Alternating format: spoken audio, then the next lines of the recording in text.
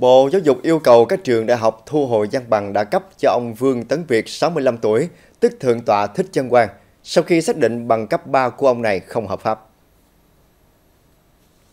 Kết quả được đưa ra sau khi Bộ xem xét kỹ lưỡng quá trình đào tạo, đồng thời phối hợp với các cơ quan chức năng xác minh bằng cấp của ông Vương Tấn Việt. Bộ yêu cầu các cơ sở giáo dục đại học liên quan khẩn trương thu hồi văn bằng đã cấp cho ông Vương Tấn Việt, đồng thời rà soát quy trình đào tạo để tránh xảy ra các trường hợp tương tự. Theo quy định, học viên bị thu hồi các bằng cấp cao hơn dù thực tế có đi học nếu chưa tốt nghiệp cấp 3.